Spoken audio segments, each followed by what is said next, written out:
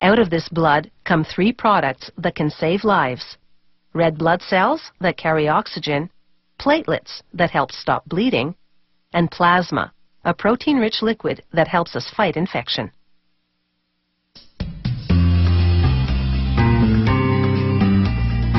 Hospitals need all blood types to help them save lives.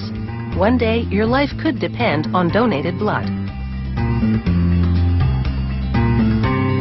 In this setup, an automated machine collects the donor's blood and separates it according to which blood product they need.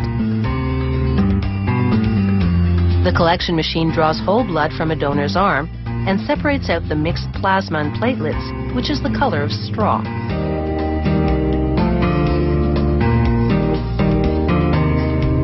In every setup, some blood is diverted into a pouch for testing. In this method, they're collecting whole blood that will be separated at the lab. A worker then draws blood from the pouch for testing at the lab. Meanwhile, the machine mixes the whole blood with an anticoagulant so it won't clot in the bag.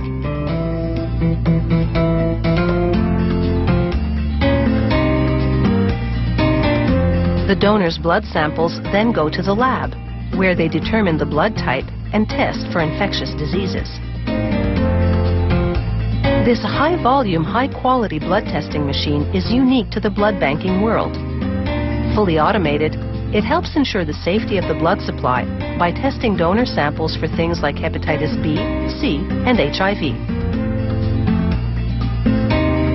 In eight hours, it runs five different blood tests on 1,000 donations without human intervention.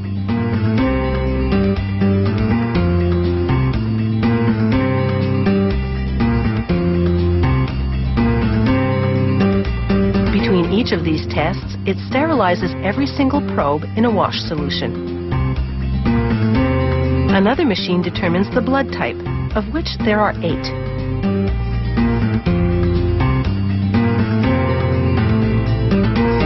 They scan the donor's collection bag and document what products they will produce from the blood.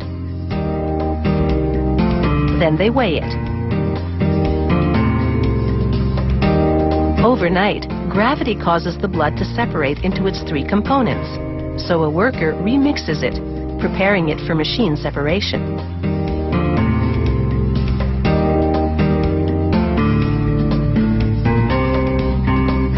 She then packs the blood and the bags for the other components into what's called a liner. She makes sure the liners are balanced and will put a rubber weight inside when she needs to. Balancing the liners keeps the centrifuge machine spinning properly at 4,000 RPM as it separates the blood into layers.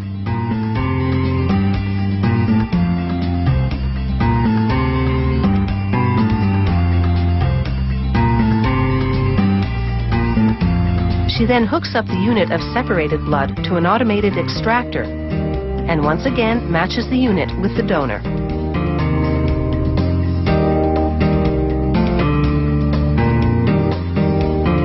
The extractor fills a bag with just red blood cells.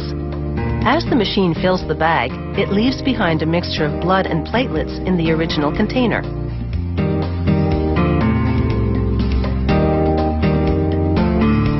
As it extracts these red blood cells and leaves behind a portion of blood and platelets, it also fills another container with pure plasma.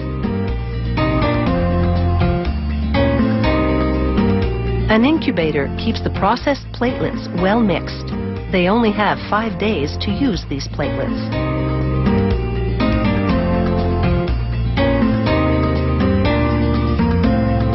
However, they freeze plasma and can use it for 12 months.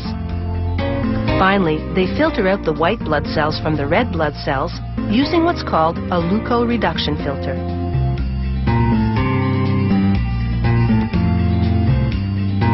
They also introduce an additive solution into the red blood cells and mix it all together.